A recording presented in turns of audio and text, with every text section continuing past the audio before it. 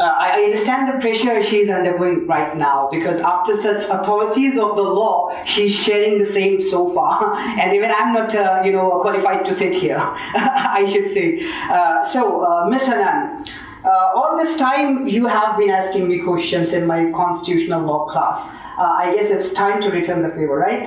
I will be asking you questions. well, so how, how do you feel being here, representing the views of your peers? Thank you, Mr. Amish. Uh, I feel extremely grateful for the opportunity to represent my alma mater here on this occasion. Uh, it is a privilege to have the support of my friends, my peers, teachers such as yourselves, the faculty members, and I am honored to voice the concerns of my peers as a law student uh, in this forum alongside such a decorated esteemed panel with judges and lawyers as well. All right, so let's start uh, with the first deliberation that we had uh, in the very beginning, which was about investing in women. Uh, It was quite a quality panel discussion. So I would like to uh, have a perspective that what this this generation thinks about uh, what's the notion of investing in women after you received the deliberations from esteemed panelists. What's your perspective? Yeah, so uh, we believe that investing in women goes beyond financial considerations. It is more about the personal aspects of a woman and supporting them in what they have done, what they are doing, and what they can do in the future. Uh, we believe it means deliberately allocating resources and creating opportunities for women for their well being, empowerment, and uh, progress of women in the legal field uh, which ensures that the woman has the chance to achieve the same things that a man can achieve without the extra effort that we need to put in. Yeah, because the word invest confuses us. Like, obviously, you talking money? So, no, we, we are talking about, uh, obviously, that what a woman stands for. And I really uh, agree that uh, this is the high time that we should shift to that notion. So, well, um, I see a lot of pages here with you uh, some extensive research you guys have done. So, uh, I hope uh, it will represent the perspective of the students. Yeah, so me and my friends, we have spent a lot of time on these points and just have this with me so that we will not miss anything. Oh, that, that's great. You're, you're acting like a lawyer. you don't want to miss anything. All right, so let's start with the statements uh, submitted by uh, your fellow students. Uh, so these are different statements, like seven to eight statements, uh, which uh, quite well drafted, and some are like Instagram post. so anyway, but uh, we'll be entertaining those statements, and let's see what perspective they want to present regarding uh, the challenges they face. So here comes the first statement, and this statement is submitted by one LLB student, uh, and I quote. As a law student, I often hear opinions of people calling it a bad profession to be in. Try to put it, try to put it from perspective of a woman. It gets worse. And the legal profession is discouraged, following the notion that um, it says we are liars, not the lawyers. so what this notion is about? Yeah, so this is about the preconceived characters uh, about being a lawyer, especially women. Some lawyers and even law students have to deal with unwanted assumptions and criticisms about their characters. Uh, for instance, criminal defense lawyers, they are often judged for defending their clients based on certain crimes. Uh, and society, uh, they don't appreciate a female lawyer representing a criminal for certain offenses that people even shy off to mention. So, but uh, like, well, I have met many, uh, you know, criminal defense lawyers and those who are like good lady established, and they're doing quite well. Uh, do, do we can see some here as well, if I'm not wrong. Uh, so, it, it does not go uh, well Yeah, so uh, that's the thing. We, as students who are just entering into the field, we do not have a lot of exposure to this. So, uh, events like this, it brings us some exposure that, yeah, there are people who are doing this, which we did not know about before. Mhm. Yeah, that, that makes sense. So these type of forums are highly appreciated, so that our students can actually know that yes, we have the ball in our court. People do got those jobs and high positions. Indeed, uh, now, now, now I get it. So, well, can, can you reflect uh, shortly about the solution to this problem? Yeah, so uh, we think the solution for this is through more talks, uh, sensors, sorry, sensitization of the certain topics that the societies shy away from talking, awareness and education on legal ethics, and street law campaigns. Uh, in our college's law society, we have a street law club where we work on promoting uh, the information and uh, spreading the information to the general public and youth about this topic so that people are more aware of this. We believe that the more we talk about this, uh, the more the general public will believe that these are things that can be changed. Indeed. So it's like something that we need to shift the perspective of, of uh, spreading the awareness about right to vote, and we should shift it to uh, right to equality, right, and the proper representation. Indeed, uh, uh, well, uh, I register this comment and we will work on it. Now it's time for second statement, which is from our Bachelor of Sharia and Law student, and it's a very uh, short statement, but I would like you to deliberate upon the same uh, because you're representing them. So the statement goes like, practical learning and experiential learning aspects should be focused upon while accommodating internship opportunities for the aspiring lawyers. So I guess this needs more uh, explanation. So what is it about? Yeah. So um, as aspiring lawyers, uh, we believe that there is an urgent need to prioritize practical and experiential opportunities in the legal education system. Uh, this is because while practical learning platforms such as MOOC courses or workshops exist, they are often off, they are often overlooked and inadequately showcased. And uh, another issue is that many of us face barriers such as work commitments and financial constraints. So, especially working students, which hinder our participation in these valuable experiences.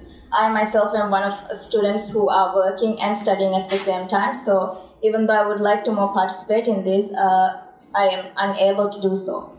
So, um, even so, despite these obstacles, uh, there are some of us that are driven by peer, uh, sorry, peer pressure to engage, uh, which really highlights the importance for broader awareness of these programs and experiential learning platforms for us. Uh, more to this, we often see male representation within the conduct of these practices, and we believe that there is the need for more women representation in these learning experiences as it makes it more inclusive. So I think that we believe it's imperative that academia and the legal community bridge this gap to ensure that all students have access to learning experiences, especially in these litigation based approaches. Okay, but I'm able to register one thing, but I'm not able to agree with the other one. Uh, uh, well, well, well, let me see why. Because the first thing I agree, like when you're saying that, uh, uh, you know, there's there are two things. Like, and, and really, we face that challenge a lot when students say, "Oh, we have our job." We cannot attend the class, we cannot attend to this workshop. So some students, uh, we understand when there's a financial requirement, they, they have to submit to the job. But there's also kind of peer pressure running around in Maldives that if you're above 18, you should have your own pocket filled with the money that you earn. So that notion actually has to be, you know, eradicated. And I, indeed, I agree that it is high time that we should start prioritizing, right, the academics over the job that we are, you know, into. And because obviously if, if, we if we have three more years of serious study it's going to land us far away uh, in comparison to when we start earning when we are 18 so that is something that we need to uh, indeed uh, look into, think, ponder upon. But the second thing where you said that, uh, as per my data, because uh, this is not going quite well, that you're saying in experiential learning uh, activities, uh, there are more boys in less girls. But I really don't agree with this because I can I can tell you personally, I deal with events, so I can tell you, give you two examples. This international moot. I'm talking about past two teams the last team was of six students. Two were coaches, four was two, uh, four were students. Out of six, only one was a boy. And they had four tours: Egypt, Abu Dhabi, uh, and uh, uh, Hong Kong. And they represented quite well, and actually they made the history. First time in Maldives, the students they went for quarterfinals. So that was a big achievement for us. They, they hosted the flag there, and uh, India. So that was uh, one data that I have. And secondly, this team, current Vis Moot team, it comprises of six students, all of them are girls. And this again the first time that they have reached the quarterfinals. And in seven days, they'll be starting their Hong Kong rounds. And let's pray for them that they this time they give us the shield, inshallah. Inshallah. All right. So uh, anyway, so that's my point uh, for you. So what's your opinion about it? Um, I think that in comparison to before, uh, the experiences for girls engaging in this is a little bit better. But I'm saying that it could be even uh, more better than it All is right. right now. Yeah, yeah, yeah, indeed. I register that. All right, so let's uh, this time for the third statement, and uh, it is actually uh, from a LLM student, and uh, it's a personally it's a valid statement, and uh, I was quite shocked about it when I received this. It is promoting access to an inclusive legal community. Promoting access to an inclusive legal community. And uh, the student says that students getting a law degree from abroad has an advantage over the students getting a law degree in the Maldives. And this notion is a fallacy and it should be condemned. So, do we have such kind of setup, like, really going on? Yeah, so this is something that we have noticed that it does exist, but we believe that studying abroad does not provide much knowledge about the practical intricacies of the Maldivian legal system, uh, the procedures or how things work in actual real courts and public offices. Uh, so this myth has to be brushed off that a degree abroad, especially in law, uh, is better than the regional programs if you're if you're planning to practice uh, law in the Maldives. Uh, getting a degree from abroad could be fit for corporate law to some extent, but uh, regional programs could be coupled with internships and should be promoted. So, for a solution for this, we would believe that promoting access to an inclusive legal community should prioritize equal opportunities for all aspiring lawyers, regardless of where they are getting their education from. Uh, discriminating against students based on the location of their education, it goes against the principles of inclusivity and fairness in the legal profession. Indeed. So that is something for us to ponder upon. Like if these are the employers who are having this notion and letting it letting it thrive, so that is a risk, right? Like if the employers are thinking that oh, I would, give priority to the student because he got his degree from some somewhere in UK or somewhere, so he must be far better than the student who is getting a degree from here. So I, I, think it needs some more deliberations, and it's a valid point to register indeed uh, for the honorable panel and uh, the audience itself. All right, so moving to the fourth statement, again, is from a BSL student, and uh, the deliberation is uh, women may face barriers to access mentorship and networking opportunities, particularly in male dominated practice areas of firms, and indeed, the glass ceiling does exist. So, what does it entail? Yeah, so on the point of networking and professional development, uh, we believe that building professional connections and gaining practical experiences through internships and networking are crucial for us law students. Uh, however, some students, especially female students, we find it uh, we find networking a little bit intimidating or struggle to find opportunities as such. So finding mentors is crucial for us in our career advancement in the legal profession. Uh, women may face barriers to access mentorship and networking opportunities, particularly in male dominated practice areas or firms. So, for a solution for this, we would like it if it was easier for women to be more involved and see more women representation at events and positions that are usually male dominated. Uh, we believe that this will make it more accessible and make it more comfortable for the female students to engage in these uh, events and such as well. So, do you find it intimidating to actually talk with our esteemed panel? Uh, yes, I do. really? So, well, we have to bridge the gap. You can uh, say Assalamu alaikum. I am Anaan. That's all right. Anyway, uh, so let's let's move to the next statement. Uh, it says again, it's from an LLB student. Yeah, we have covered this. Yeah, LLB student. The statement goes like, although more women are entering the legal profession, although uh, they are still underrepresented in leadership positions at law firms, corporations, and within the judiciary. Uh, it's time to showcase the women in law as role models. So, what does it entail? What's the intent behind this? Role models. Yeah, so uh, we do believe that there is an underrepresentation in leadership roles for women. Uh, glass ceilings and implicit biases can hinder women's advancement to partnership, executive roles, or judicial appoint- appointments, as we can see today. Uh, because of this, there are limited role models for students and the underrepresentation of women in leadership roles within the industry, which may lead to lack of visible role models for female students. And so we believe that it becomes hard for them to envision themselves succeeding in career opportunities, uh, and therefore they don't aim as high as they could achieve as they believe that these positions are meant for the male. I really wonder what else you need. So just have a look. Have a look. Come on.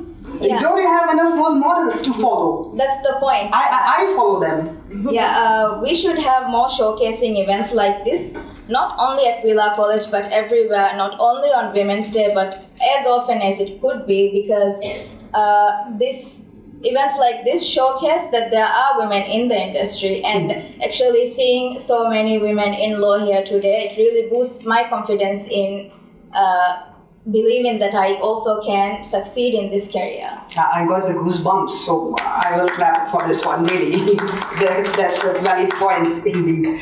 Uh, yes, uh, so I agree. Sorry, I take it back.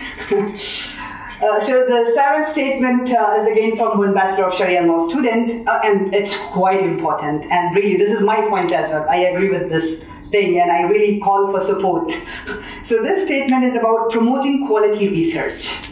And it says, following the limited availability of Maldivian legal resources like books, legislations, and case laws, when English is the medium of instruction, uh, which is a good practice, the students acknowledges that which is a good practice as most countries take their legal inspirations from the common law. We face a real challenge to deliver quality research that can be recognized internationally, not limited only to Maldives. And this limits the legal literature to Dhivehi and, and uh, put a cap on research collaborations with law societies and research centers overseas. Uh, it sounds like you have discussed this before as well. So, is it you? Yes, This is your uh, point. I have been one of the students who have been relentlessly inquiring to you about this, even Yeah. throughout my science. Uh, so this is an issue that we face of the limited resources and access to legal materials. Uh, we have to get information for a case, mostly from news sources, which we all know they are not really a 100% reliable. So it would be much easier to engage in uh, independent research if we have Maldivian legal journals, databases, case commentaries, and other documents available in, in English for the Maldivian legal issues to strengthen the future oriented research reflecting an inclusive society. Uh, I personally dealt with this just three days ago while finishing up one of my assignments. There are very few, if any, legal resources that I could use to write a quality research article. Um, I would like to point out that we do have access to legal databases that provide a variety of legal literature, but when it comes to Maldivian legal research, it's kind of blank. Uh, our seniors and role models need to start writing and creating Maldivian legal uh, literature for us aspiring lawyers. Um, on this point, I would also like to point out that in the Maldivian legal literature that is available to us right now, we mostly see former Attorney General Husnu Al Suood's work mostly. Uh, we thank him for his dedication and hard work with the informative articles and books he has provided us with. But what we see less is the legal literature by women within the industry. We believe a new, ins- uh, a new perspective of the industry from a woman can be uh, an interesting outlook for the field, and we would love to see more of that. Indeed, that- that's a valid point. And uh, now this this time, Miss Anaan is encouraging the esteemed panel here that we have to start writing. Uh, in the A, but I write at least in news articles, right? okay. So, uh, well, I missed one statement, and I'm really sorry for that. That's the last statement. Um, uh, it was statement number 11. I'll just take it. Uh, even though Maldives is now becoming more open, did we take this? real lawyer on their case? I guess not. We didn't. Yeah. So one statement, last statement, it's there from LLB student, and he says or she says the gender is not mentioned here. That's why we kept it like that. Uh, even though Maldives is now becoming more open to the idea of women in serious professions, the society, and it's true, the society still asks for real lawyer. They ask for real lawyer on their case the image of real lawyer has been fabricated deeply with men. Uh, it was also a question raised uh, from one of the students, which was uh, entertained by uh, man, right? Yeah. So, uh, what's your perspective about this? Yeah, so for this point, we have realized that despite the fact that women lawyers have good trial experience and ability to work in the legal field, this is a question that is still being asked where is the real lawyer? So, because people more uh, prefer the men than the women lawyers, right? So, due to the gender bias, most aspiring female lawyers are usually intimidated by the environment of the legal landscape. Uh, we say this because we had questioned some of our uh, lawyer friends, women's working moms, and we got this from them. Uh, so I think that that overall affects their confidence and opportunities for participation because they shy away or believe their abilities are below the men in terms of their capability to perform in the industry, even within the classrooms. So, for a solution for this, we would like if the involvement and hiring of female legal professionals uh, increased in the work. So, uh, give them opportunities based on their capabilities, and we believe that through this, more female lawyers are involved, slowly fading the narrative of men being the most capable uh, lawyers out of the two genders. Okay, that's good. I, I feel like you know my career is over now. right. Uh, anyway, so uh, I, these were the statements, and uh, if we can have any feedback, any suggestion, and any policy that can actually entertain these thoughts, uh, if we can have it from uh, the flow, it will be really great. Can I the item? Uh, okay. Thank you. I am uh, two of the students I have seen uh, speaking about uh, women lawyers not being real lawyers. Um, the other day on TV, I saw uh, the Attorney General send a lawyer to advocate his case in the law uh, in uh, uh, the Supreme Court, and I think I saw a lady lawyer there. In a very high profile uh, political uh, case, I have seen uh, the, from the Prosecutor General's office a, a lady lawyer uh, being uh, there and advocating for the uh, prosecution as uh, the chief counsel, if I'm not mistaken. She was here this morning. I'm not sure what's her name. Fatma, sorry, uh, there. So, in uh, and we've seen his son in very high profile cases. She was the lead counsel in that. These are very, uh, I mean, uh, high profile cases in the sense every day it's being spoken in the media. So, how come people uh, still think that? I mean, I'm a little bit out of touch with the uh, legal profession in that sense. But whenever I see a high profile, I'm sure there are many lawyers in the Attorney General's office also, but I saw a lady there in Prosecutor General's office also. There should be uh, many male lawyers as well, but a lady was there. Oh, are we, uh, and uh, again, uh, with other high profile cases, we see ladies there. So, are we just thinking of it, or it's been repeated, or whatever is being said when we do, aren't we, our brains not adjusting to what we see on TV and publicity? Is that what is happening?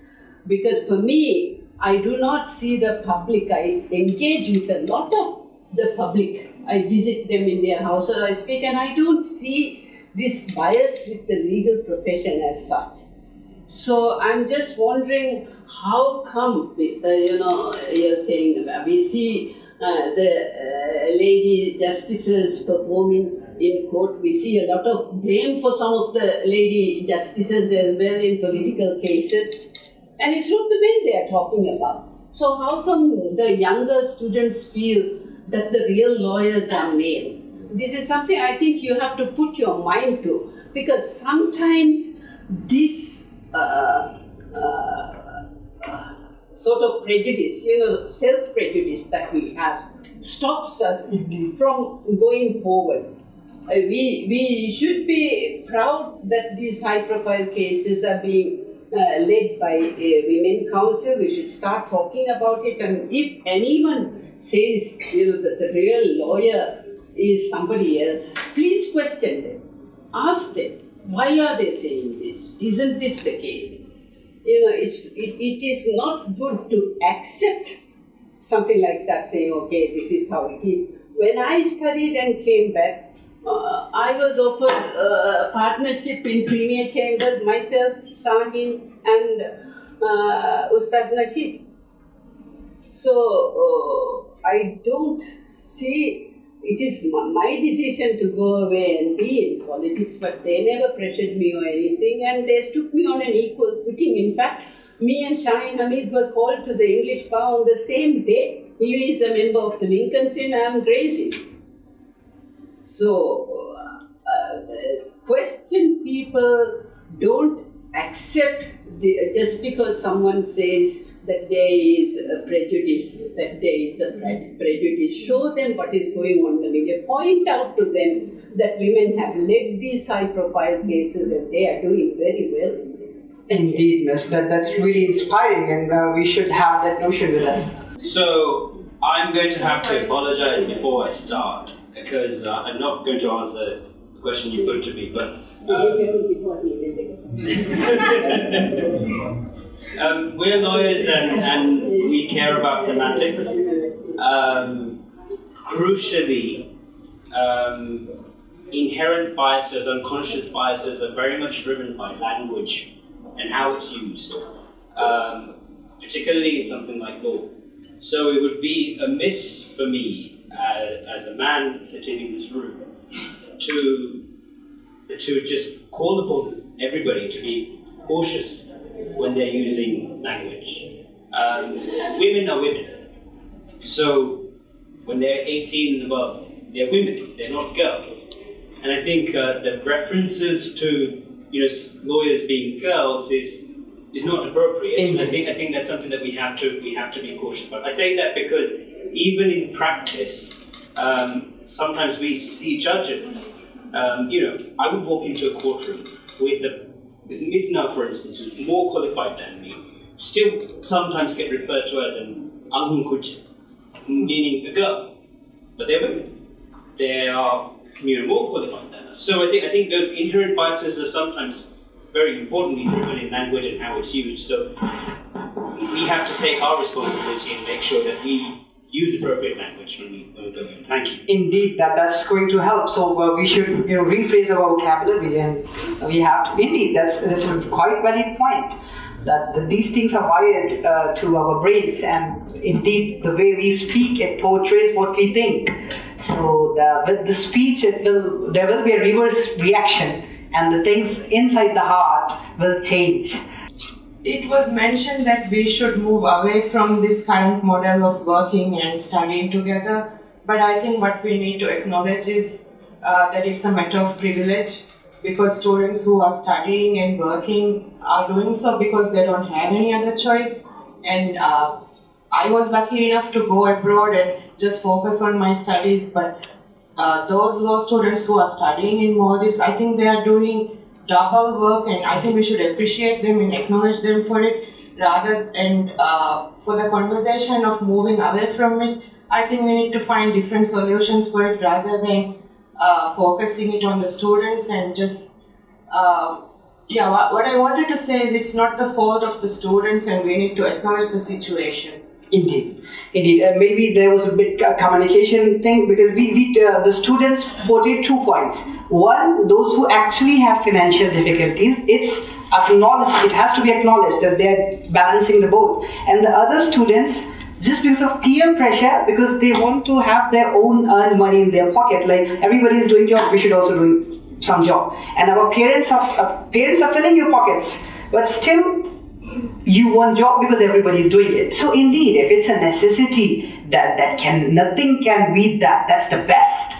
when you're uh, out of necessity you're doing that. But when sometimes it's out of peer pressure, so that is something that we can say that hey, come on, wait for two more years. Let's study first. You have enough, and then uh, we can go for earning. So uh, yes, uh, our dean wants to uh, say something. Yeah, I actually wanted to appreciate what actually Ustad Nalka already mentioned. It, it is actually kind of I think something we don't appreciate enough. The fact that we do have a lot of students who are actually currently studying full time at the same time also doing a full time job. And I think there are few people, especially women like us, who have had the opportunity to go abroad and you know who are able to have the opportunity of being full-time students. And currently, we also have to appreciate the fact that by having you know access for students to have education, whether it is as students who are full-time you know workers is still an access to education which they would not possibly have if otherwise. Okay, so I would say instead of actually discouraging students or potential students to work, I think if they actually aim in a way that they could actually balance both work as well as you know studying, they could actually strategize their work in a way that they could actually boost their career when they actually finish work. And as well, I think a lot of students that I have met who are actually graduating do have shared their concerns regarding opportunities for internship which could accommodate their current situations. For example, students who are within islands or students who are young mothers who would have difficulty coming into let's say for example you know internship opportunities i think this is where we need to actually discuss within the legal fraternity and try to bridge this gap where we can actually incorporate access to education and also access to, you know, a legal fraternity. So I think instead of discouraging students to come to law school as, you know, working students or as, you know, students who are studying part-time, I think we need to find solutions within the fraternity where we can accommodate for these students, where they can do jobs part-time, where they can, you know, do remote working so I think this is where we need to actually divert our conversations. Indeed, so I guess the same will be communicated to the community. yes, that's a very point. Uh, yes.